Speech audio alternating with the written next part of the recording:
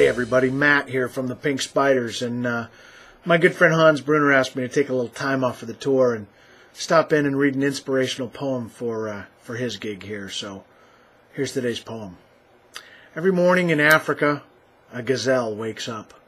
On that day, he knows that he must run faster than the lion, or he will be eaten. Every morning in Africa, a lion wakes up. On that day, he knows that he must run faster than the gazelle, or he will go hungry. When you wake up every morning, whether you are a lion or a gazelle, you had better be running. With that, let's roll the clip.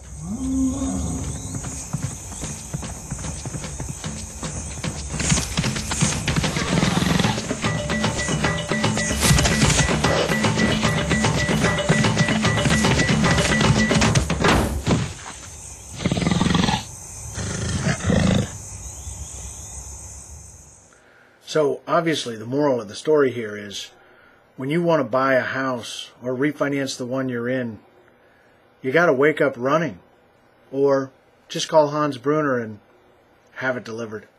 And now you have a friend in the mortgage business.